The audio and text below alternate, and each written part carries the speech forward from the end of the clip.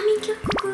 はいどうもこんにちはなるみことしのなるみです今日は私がいつも行っている行きつけの美容院ラピス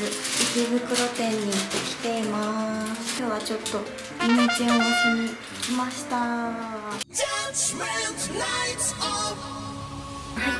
今エクステを全部取ってもらったんですけど家の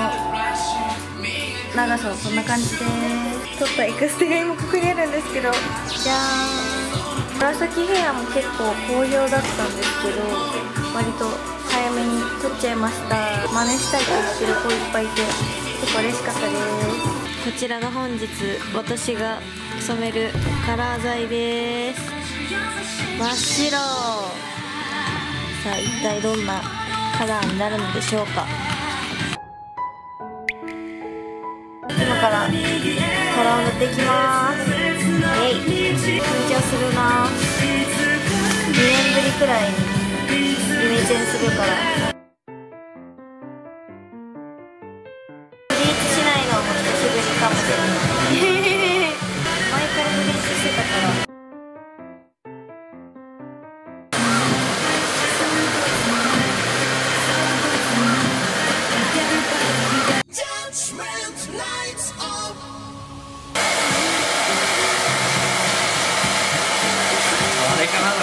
暗くなったって思うだろめっちゃ暗くなった。焦げ茶とか上そういうのもなんか通り越してさ。黒髪になった黒髪に見える。ワンちゃんボブって何もしない？どうだったのこれ後ろが今長いから。もう結局同じくの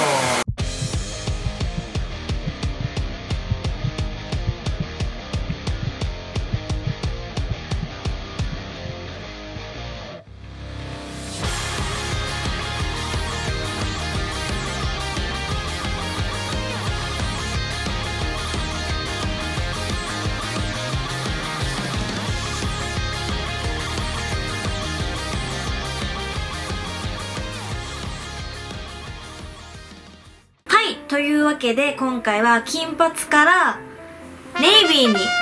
イメチェンしました。もともと金髪だったのですごい暗く感じるんですけどそもそも今回のイメチェンをした理由なんですけど気づけばもう2年間くらい金髪をずっとやっててまあなんかシンプルにあの金髪に飽きた。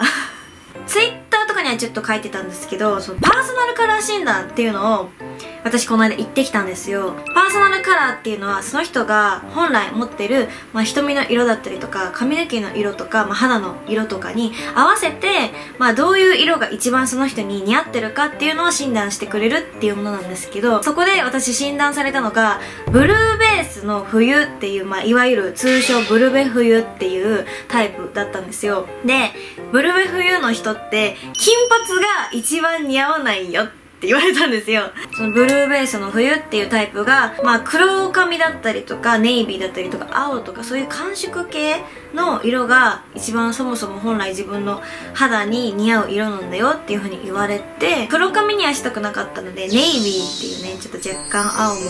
取り入れたちょっとおしゃれなカラーにしてもらいました。まあ自分自身結構メイクとかヘアカラーとか自分の中でこれだっていうある程度のテンプレートみたいなものができたらあんまり私変えないタイプなんですよ。でも自分に一番似合ったヘアカラーとかメイクとか自分に一番似合うヘアメイクをこれからも研究していってセルフプロデュースをしたいなーって思っています。なのでまだちょっとあのヘアメイクが馴染んでないかもしれないんですけどこれからいろいろ研究してブルベ冬さん向けのメイク動画とかもこれから出していきたいなと思っています。暗くすることによって肌の色とかもすごい白く見えるしメイクはその金髪の時とあんまりそんなに変えてないんですけど一個一個のパーツがすっごいなんかはっきり見えるようになったなっていう個人的な感想です。人生一度っきりだしせっかくなら自分史上最強の自分でいたいなって女の子なら思うと思うんですけど興味ある人はパーソナルカラー診断っていうのに行ってみると自分に似合う洋服とかヘアカラーとかわかるのですごくおすすめです。はいというわけで平成は皆さんお世話になりました。令和からはちょっとねこちらのネイビーなるみんで行かせていただきたいと思います。ぜひぜひ皆さん令和のシーンのなるみもよろしくお願いします。それでは今日も見てくれてありがとうございました。高評価チャンネル登録コメントよろしくお願いします。バイバーイ。